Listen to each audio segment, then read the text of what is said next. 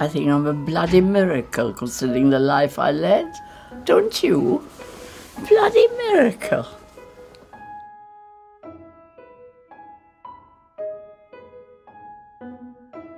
My mother was very introverted, depressive like I get. and I'm gregarious like my father. So I have the two. And my father was an enormous flirt.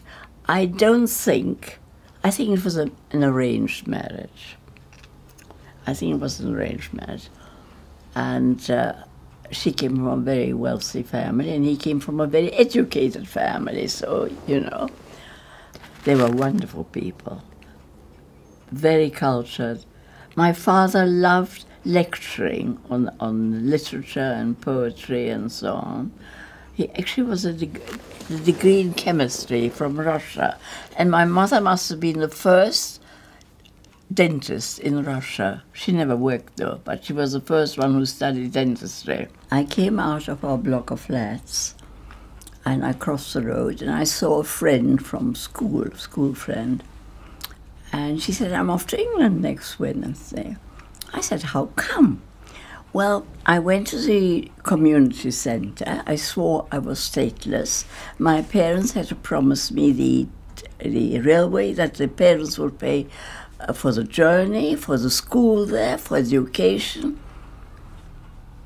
I said, Tell me where the community centre is and I went and I swore that I was stateless, my parents would pay everything. Everybody knew my father was a Lithuanian honorary consul. But times were so bad that you didn't go into details. And then I went home. I said, Mama, I'm leaving for England on Wednesday. Get me ready. You're paying my journey, you're paying the school you're paying my education, and if you cry at the station, I never write to you again.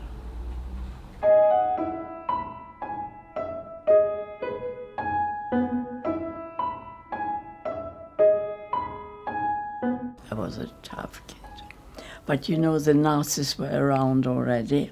I went with the last kinder transport to England and my sister was supposed to join me in Hilversum on the way, but she never turned up. Of course, the war began. I didn't hear any more from. I did have. I found. I found a letter from my father in 1941. I found a letter from my sister, 42. She only got uh, taken to Auschwitz in 43. In January, she was arrested both my parents were extremely delicate, nice people. Like, I met a few survivors from the camps. When I got a charter flight, someone gave me a lift somewhere. and I looked at them, my parents would have never survived. You really had to be a certain type, apart from having a lot of luck, to have survived that time.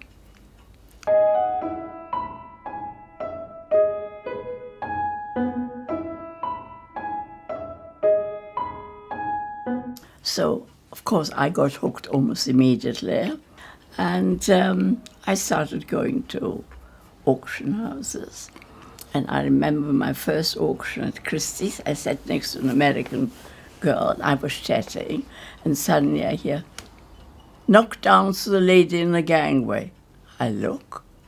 Oh, it was me.